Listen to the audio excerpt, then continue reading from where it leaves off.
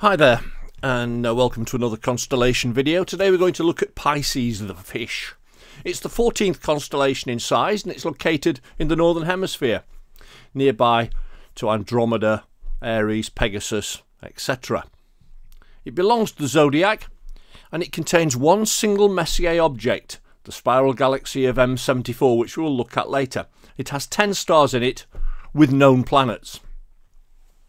Major stars wise, uh, Eta Piscium or Kullat Nunu um, is the brightest star in the constellation and it has an apparent magnitude of 3.62 and it's approximately 294 light years from the solar system.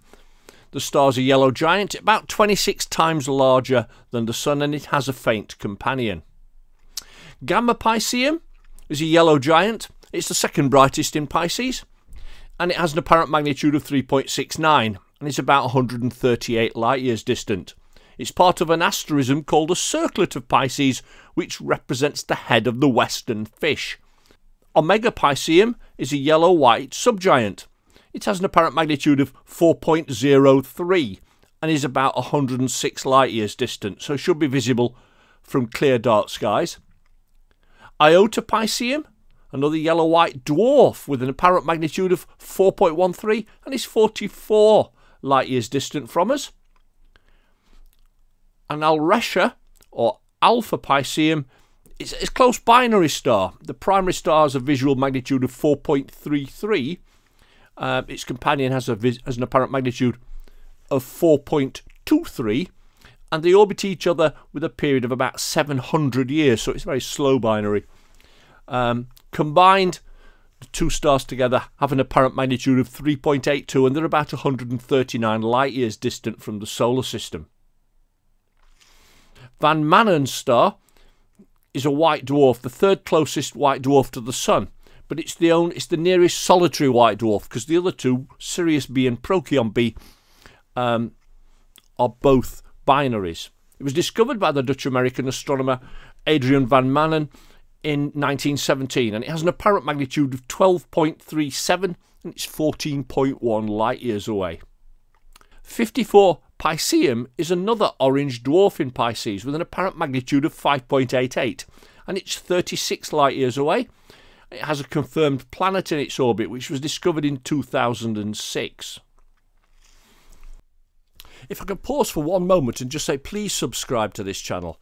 It means a lot to me because it shows me that people are interested in what I'm doing. Also, it means a lot because YouTube see the subscriptions going up and realise that people like what I'm doing and, and they promote me as well.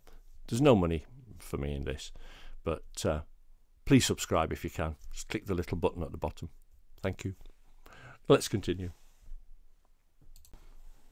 Now, there are four asterisms, which, as we know, are bits of constellations that have a distinct shape within the constellation of Pisces.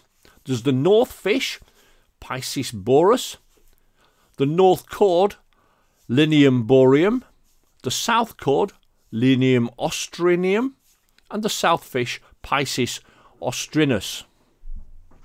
Deep sky objects in Pisces, are Messier 74, as we said earlier, which is a spiral galaxy, seen face on, with an apparent magnitude of 10, about 30 million light years from the Sun.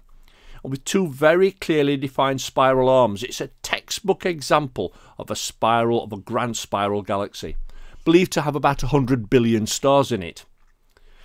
And it's part of the M74 group of five to seven galaxies in Pisces, the bright it's the brightest of that group. Other members um, include NGC 660, which is a peculiar spiral galaxy, and a few other irregulars. Well, please subscribe and uh, do take care and speak to you next time. Dark skies, stay safe. Bye for now.